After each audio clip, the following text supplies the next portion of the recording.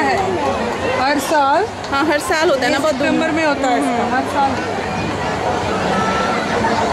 मतलब ये भी मेला जैसा है क्योंकि वहाँ पे रेट लिखा हुआ है।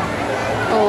अच्छा एकदम पचास रुपये ऐसे कुछ। इंग्लिश हम पढ़ सकते हैं फिर बाकी फिफ्टी रुपीज़